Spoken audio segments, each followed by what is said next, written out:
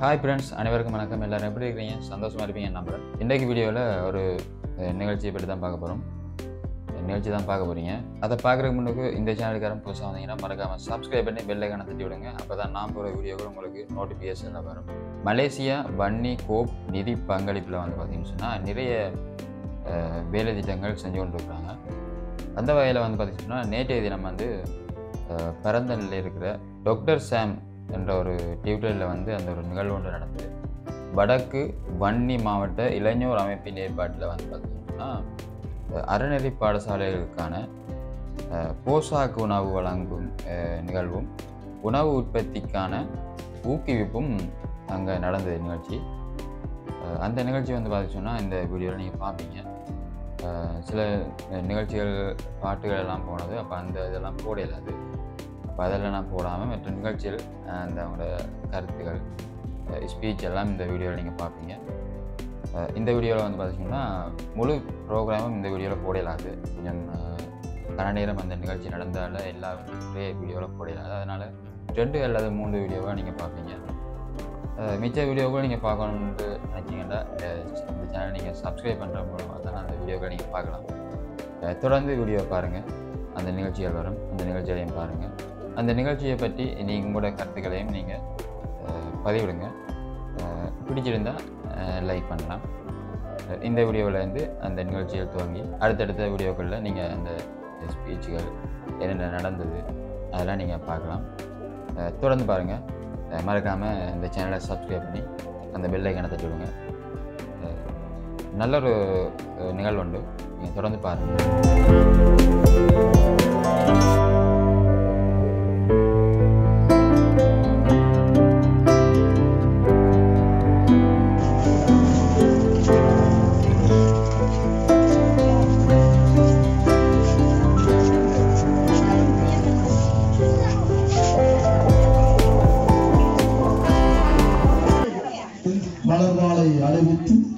மண்டபம் நோக்கி அழைத்திருக்கின்றோம்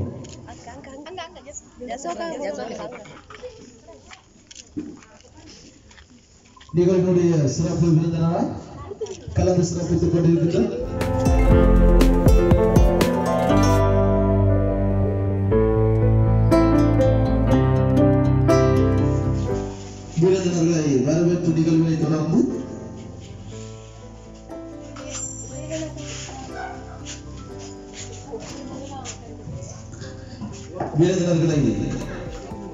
மலர் மாலை அணிவித்து மண்டபத்திற்குள் வரவேற்பு நிகழ்வை தொடர்ந்து தொடர்ந்து இடம்பெறுகின்ற நிகழ்வு மங்கள விளக்கு ஏற்றும் நிகழ்வு இடம்பெறும். மங்கள விளக்கினை ஏற்றி வைக்குமாறு அனைவரையும் மண்டபத்திற்குள் தங்கள் தங்கள் இருக்கைகளில் வந்து அமருமாறு அன்புடன் கேட்டுக்கொள்கின்றோம்.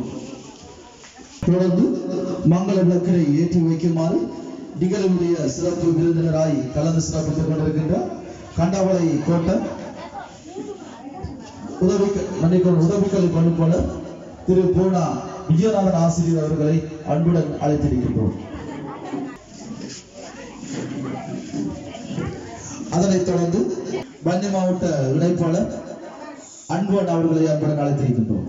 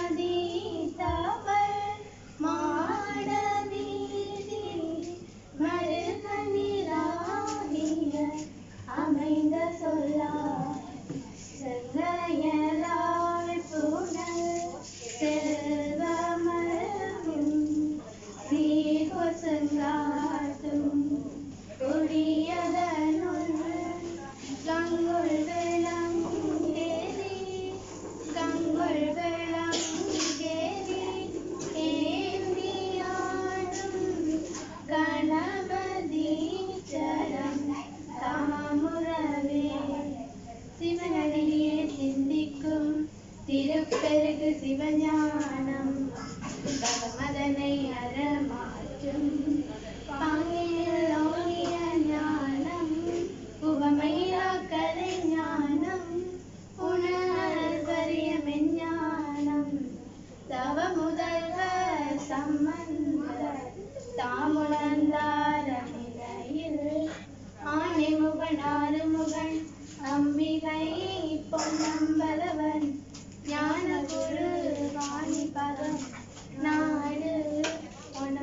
पार्वती पदे ओ नम पार्वती पदे ओ नम पार्वती पदे तेनाली शिवने पोती में सोल कर दिखते सब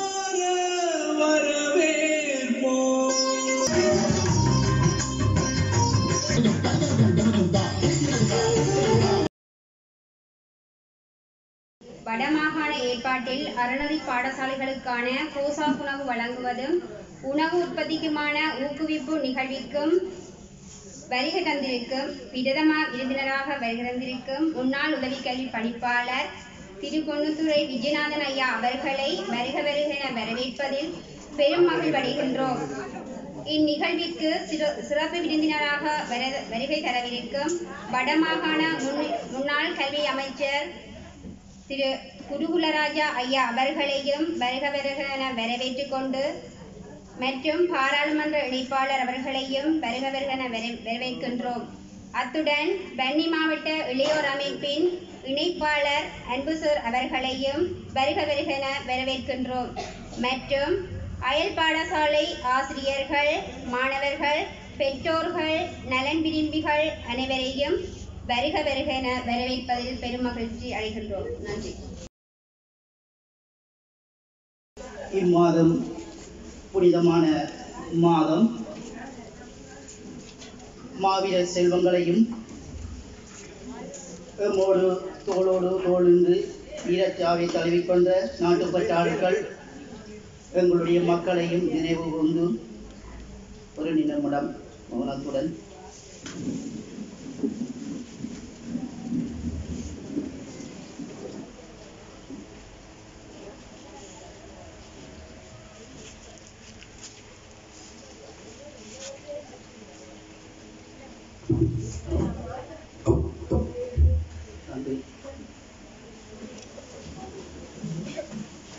உலக தமிழரின் மனங்களிலும் உலக தமிழ் மக்களின் மனங்களிலும்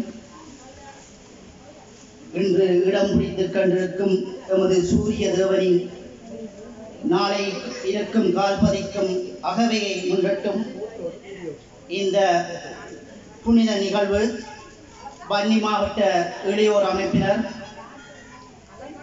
ஆகிய நாம் எமது மாணவர் செல்வங்களின் கல்வி வளர்ச்சிக்காக எமது தாய் மண்ணில் பொருளாதார சூழ்நிலையால் பாதிக்கப்பட்டிருக்கின்ற எமது மண்ணை மீட்டெடுக்க வேண்டும் எமது மக்கள் நிம்மதியாக வாழ வேண்டும் என்ற ஒரே நோக்கத்துடன் உலகத் தமிழராகிய நாம் இன்று ஒன்று நிற்கின்றோம். பல துயரங்களை கடந்தும் பல இன்னல்களை சுமந்தும் இன்று தொடர்ந்தும் நிமிந்து நிற்கின்றோம் என்றால் எங்களுடைய வளர்ச்சி இன்னும் மேலோங்கி நிற்கின்றது என்பதை எமது மாவீரர்கள் காட்டியிருக்கின்ற வழி என்பதை அனைவரும் மறந்துவிடக்கூடாது.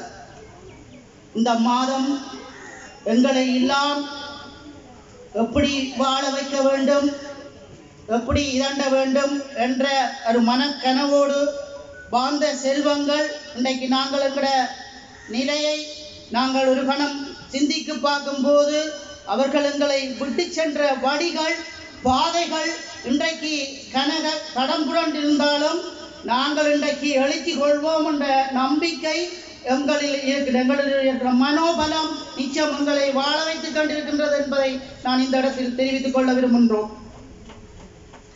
எமது அழைப்பை ஏற்று இங்கே வருக தந்திருக்கும் அனைத்து உள்ளங்களுக்கும் முதற்கண் நன்றியை தெரிவித்துக் கொண்டு இந்த புனித நிகழ்வு நாங்கள் பன்னி மா- பன்- பன்னி மாவட்ட இடையோர் அமைப்பு ஊடாக எங்கள் மாணவ செல்வங்கள் அறநெறி பாடசாலைகளை மேம்படுத்தணும் என்ற ஒரு நோக்கம் மற்ற குழந்தைகளோட போசாக்கு உணவு அந்த வகையில் நாங்கள் செய்ய உணவு உற்பத்தி. எமது தேசம் இன்றைக்கு ஒரு பெரிய இன்னல்களை சந்தித்து வருகிறது. நாங்கள் அதிலிருந்து மீண்டெழ வேண்டும். இது உண்மையிலேயே நாங்கள் எமது போராட்டம் மௌனிக்கப்பட்டு பதினைந்து ஆண்டுகள் கடக்கின்றது. நாங்கள் தொடர்ந்து போராட்டம் என்ற இதிலிருந்து என்ற அதுடைய மனக்கசப்புகளிலிருந்து மீண்டு எமது தேசத்தை கட்டியெழுப்பி எமது மக்களுடைய வாழ்வை நாங்கள் முன்னெடுக்க வேண்டும் என்ற நோக்கத்துடன் மாணவ செல்வங்கள் எங்களுடைய அறநெறி பாடசாலையை நாங்கள் கையில் எடுத்தோம். அந்த குழந்தைகளுக்கான உணவு கொடுக்குற பணி. இன்றைக்கு அஹ், தொண்ணூ தொண்ணூற்றி ஏழு பாடசாலைகள் இருநூற்றி அறுப ரெண்டாயிரத்தி இருநூற்றி அறுபத்தேழு குழந்தைகளுக்கு இன்றை இன்றைய நாளில் உணவு இல்லா வடமாகாணம் ஃபுல்லாக உணவளிக்கின்றோம். உணவுப் பொருட்கள் வழங்கப்படுகின்றது. அந்த அந்த ஆசிரியரை கௌரவிக்கப்படுகிறது அந்த வகையில் இந்த கிளிநொச்சி மாவட்டத்திலே நாங்கள் செய்வதற்கு மலேசியா பன்னிக்கோ எமக்கு ஆறு லட்சத்தி அறுபத்தி ரெண்டாயிரம் ரூபாய் நிதியினை சரவணன் முன்பணிக்கு அனுப்பி அந்த குழந்தைகளுக்கான உணவுப் பொருட்களை நாங்கள் இங்கே வாங்கி பொதுக்கிட்டு இருக்கின்றோம் அந்த இருபத்தஞ்சு பாடசாலைகளுக்கும் இந்த உணவுப் பொருட்கள் கையளிக்க இருக்கின்றோம் அந்த மதிய உணவுக்காக ஒரு மாவீர குடும்பம் கனடாவில் வசிக்கின்றார்கள். அவர் இந்த கிளிநொச்சி மண்ணை சேர்ந்தவர். அவை அவர் மதிய உணவுக்கான நிதி பங்களிப்பினை கயன் என்பவர் கனடாவில் இருந்து இந்த மதிய உணவை இந்த பெற்றோர்களுக்கும் மாணவ செல்வங்களுக்கும் இந்த உணவுப் பொருட்களை வழங்குவதற்கு அவருக்கு நிதி பங்களிப்புடன் இந்த நிகழ்வு சிறப்பாக நடைபெற்றுக் கொண்டிருக்கின்றது. எங்களுடைய நோக்கம் இந்த மாணவ செல்வங்களை அவைகளுடைய போசாக் இதை வழங்கி அவர்களை முன்னேற்றி எங்களுடைய நாங்கள் முன்வர வேண்டும் என்ற ஒரு இது வந்து எங்களுடைய பதினைஞ்சு ஆண்டுகள் கடந்தாலும் எங்களுடைய பணி தொடர்ந்து கொண்டிருக்கின்றது. அந்த வகையில் உணவு உற்பத்தி நமது தேசம் போரினால் பாதிக்கப்பட்டிருக்கின்ற காலப்பகுதிகளில் ஒரு பொருளாதார தடை இருந்த போதும் ஒரு நம்முடைய தேசம் உணவாலே நாங்கள் ஒரு எழுச்சி கொண்டிருந்த நாங்கள். எங்களோட உற்பத்தி ஒரு அந்த நேரத்தில் பெரிய ஒரு கடுமையான காலப்பகுதியில் கூடி நாங்கள் ஒரு தன்னம்பிக்கையோடு வாழ்ந்த இனம்.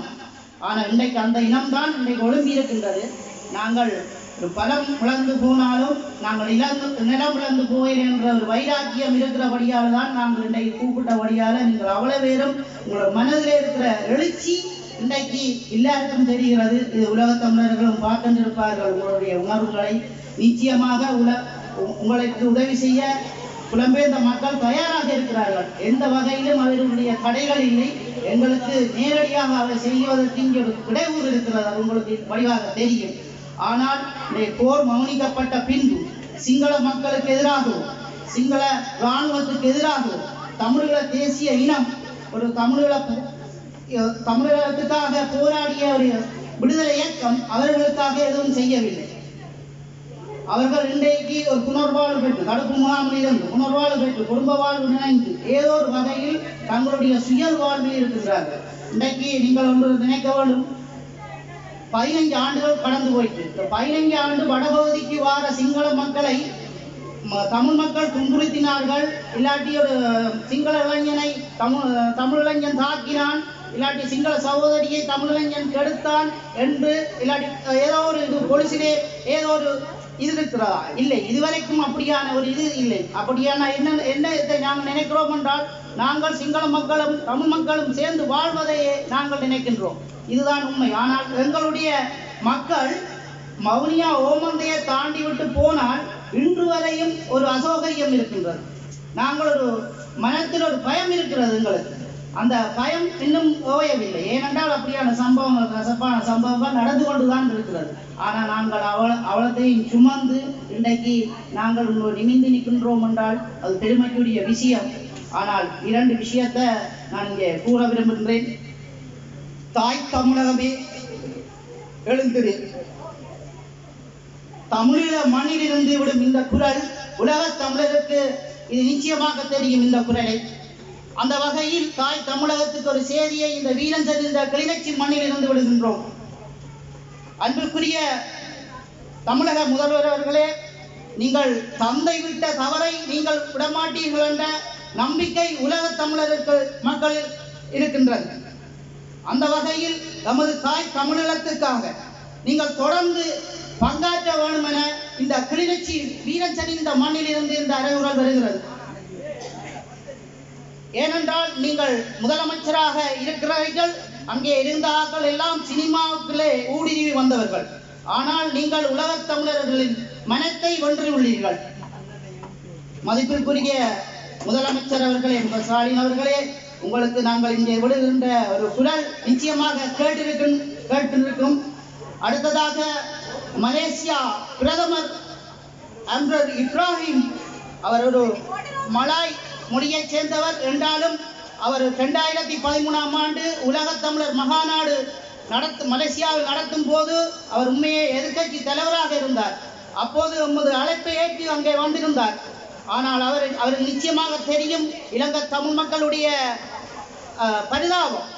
ஆனால் அந்த பரிதாபம் தெரிஞ்சபடியால தான் இன்றைக்கு அங்கே இருக்கிற தமிழ் மக்களும் அங்கே பாராளுமன்ற உறுப்பினர்களும் சில வகையான வேலை திட்டத்தை செய்து கொண்டிருக்கிறார்கள்.